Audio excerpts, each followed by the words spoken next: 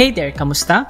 By popular demand by students and viewers, succeeding videos will be using both Filipino and English for discussions. In this lesson, ang pag-aaralan natin ay tungkol pa din sa accuracy and precision. We will continue where we left off.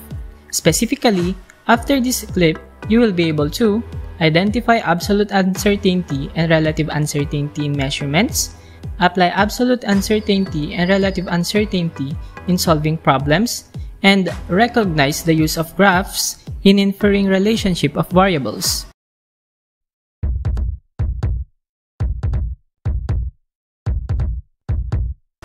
Dahil ang measurement ay wala din kasiguraduhan base sa mga nakaraang video, we have set out accuracy and precision as our determinant in closing the gap. Absolute uncertainty shows the magnitude of error. Ibig sabihin, gaano kalawak ang sakop ng measured value.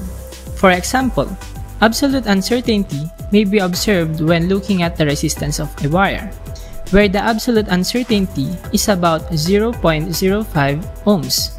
Ibig sabihin, ang resistance ng wire ay maaring mas mababa ng 0.05 ohms mula sa measured resistance na 35 ohms o di kaya mas mataas pa ng hanggang 0.05 ohms mula sa value na nakuha which proves an extended measurement from the acquired measure.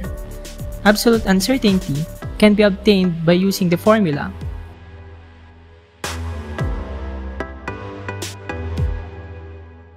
which brings us to relative uncertainty.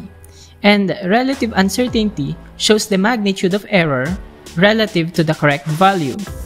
We can solve the percent uncertainty by using the equation shown. Remember, that when solving for these values, you should always take note of the identity of a given measure. Dahil nga hinahanap natin ang pinaka-precise at accurate na measurement. Based on uncertainty in taking the best estimate in measure, there are other ways of getting close with this objective. First one, we can increase trials and get the best estimate by calculating for the mean average. While sometimes the best way is just to get the value based on the highest value and the lowest value from the acquired measure.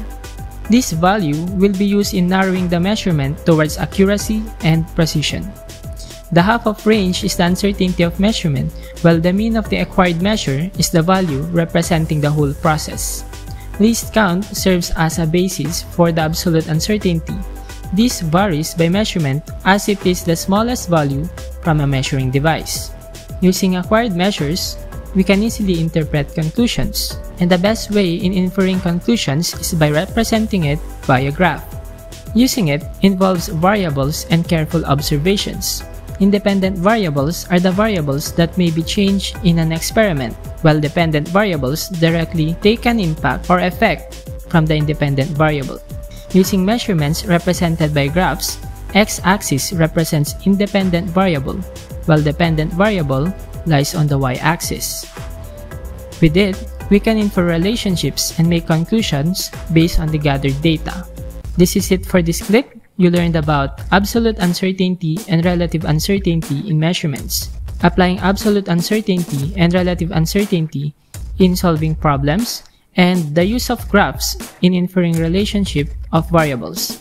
Thanks for watching and see you again on the next one.